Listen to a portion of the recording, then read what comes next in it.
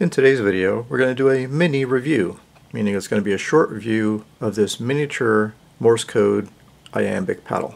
This key is designed and manufactured by Bamatech out of Germany, and I'll put a link down below uh, to where you can go find this on the web. I like operating portable, and I hope to do a lot more of that. And I've traditionally just used a straight key, like this little mini uh, camelback key, and I really enjoy this as well. But I wanted to add a set of paddles to my portable operating arsenal. So this little TP3 uh, mini paddle from Bamatech really fit the bill nicely. This key is just beautifully designed and made, and kind of a unique mechanism. Uh, but it's all uh, made out of aluminum, all anodized. On the bottom there are four very powerful magnets so you can snap this down to something metal to hold it in place if you want. It's got a nice uh, milled plexiglass cover and we'll take a quick look at uh, the mechanism and how you adjust it. And a quick little hint, those little cur curly things you see there are not the return springs. They're actually the connections from the paddles uh, to the uh, 3.5 millimeter jack to connect it up to your radio. Now like any good paddle, they are fully adjustable in terms of both the travel for each of the paddles as well as the amount of force required to actuate the paddle. Let's take a look at the mechanism and how those adjustments are made. I'm only showing one of the two paddles for simplicity. Each paddle is this L-shaped piece with a pivot in the middle. So as you push down on the paddle to close the contacts, the other end of the lever moves this way back and forth. So there's one set screw that sets the distance between the contact points by adjusting the contact between this lead screw and this arm of the, the paddle. And then the return is actually not done by a mechanical spring, but is done by using a set of opposing magnets. There's one magnet mounted on the end of the lever arm and the other one at the end of this lead screw. So essentially to adjust this paddle, you set the distance, you know, how far you want that paddle to travel when you hit it by adjusting this lead screw first. Then once you've got the distance right, okay, your actuating distance, then you can adjust this set screw in and out to get these magnets closer or further apart to either increase or decrease the amount of force it takes to actuate the paddle. take a look at the actual paddle itself. We can see each of those L-shaped arms uh, right here. Those adjustment screws can be accessed through uh, you know right here along the front uh, for the uh, distance travel and then these two in the back adjust those magnets.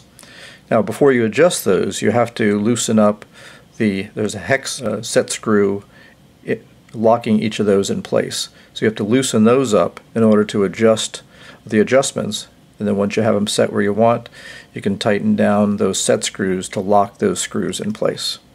Now the paddle is small enough and light enough that if you want to just operate portable with the holding it in your hand, that will work just fine.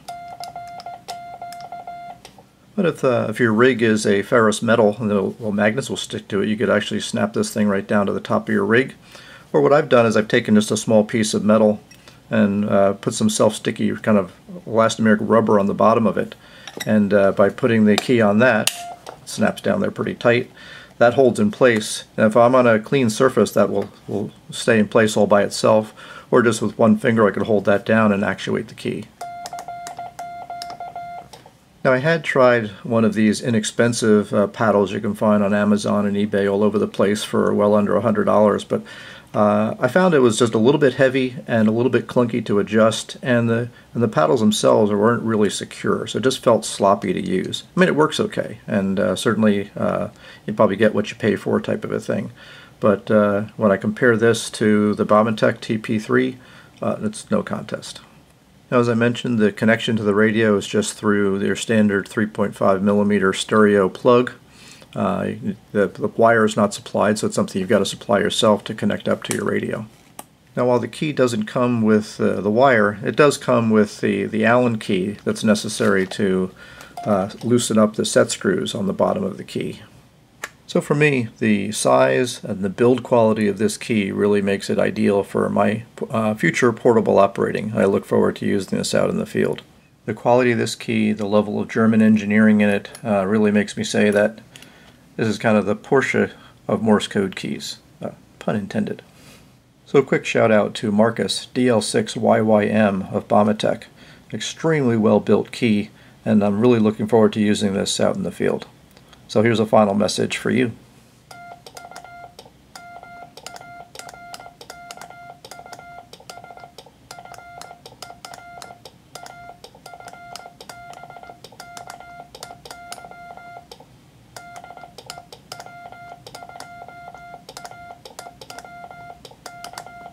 Well, thanks again as always for watching and hope to see you on the air.